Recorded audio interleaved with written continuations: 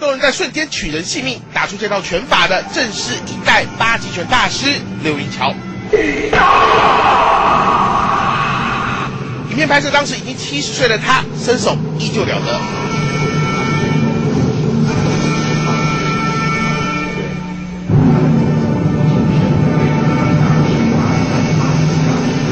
林桥内劲这一发，四名大汉当场抱不住，被震开了。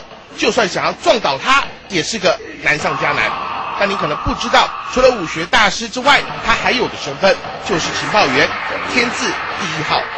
那一个将将军，他说他刀剑术非常好，结果呢，他就呃挑战很多人，结果都被打败了。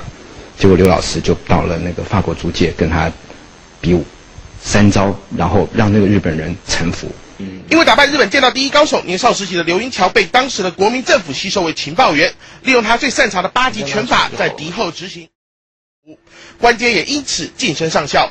来到台湾后，他更不寂寞，因为功夫无人出其左右，在龚令成将军的引荐下，成了老蒋总统贴身侍卫的总教头。经过刘云桥的调教，这些侍卫个个都能在三招内取人性命。刘云桥总教头的职位也就因此历经了严家淦、蒋经国、李登辉四任总统不曾动摇。八极拳还一度被禁止外流，所有学过人都要列册登记，越怕有人学会后会用来暗杀总统。而这样的传奇人物也吸引了日本媒体跨海报道。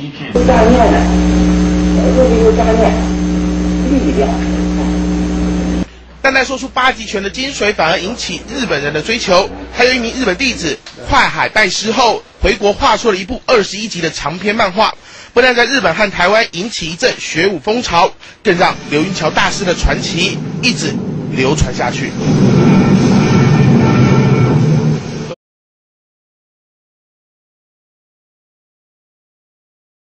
对不对？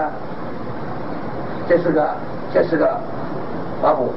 要如果收肉钱的时候，我要打公布收肉钱，所以这个呢要拧，也叫教，这教怎么拧？你看，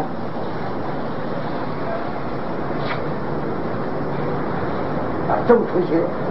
劉雲章はカンフーのふるさとと言われる山東省の出身である八極拳の達人として知られ若い頃は介石のボディーガードを務めていた包括了马步、弓步、马步弓锤。除了腰腿的训练，手上发劲也格外重要。八极拳有六种基本发劲，是一种出拳技巧的应用。它包括了冲锤、哈拳、螺旋拳。仰拳、左右横打、左右撑掌等六种基本发劲。